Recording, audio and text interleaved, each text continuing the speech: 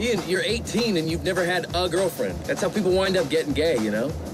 There is a girl. Where'd you meet her? Online? What? She's probably a guy. Free donuts, free coupons. Ian, why you gotta work the mouth when you talk to us? Yeah, Ian. Sorry, it's a, it's a habit. Be cool. If you come all the way for me, I'll go all the way with you. Holy buckets. She wants me to meet her tonight. Pack your shit. We're going to Knoxville. No, she doesn't want me, okay? She wants him. I'm sorry. We just need one thing. no, Lance, no. We're back tomorrow before Rex even knows the car's gone. Where are we going? Knoxville, Tennessee.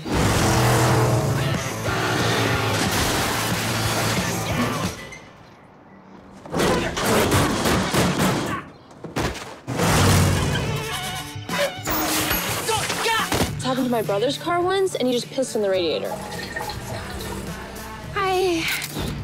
Need some help?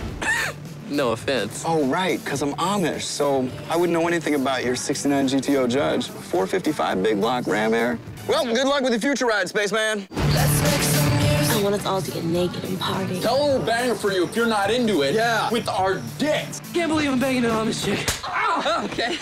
More of that. Your hands on your head. Both hands, asshole. I can't move the other arm. Who said that? I can't move the other arm. You know you need a hug. Come on, honey. Cuddle up.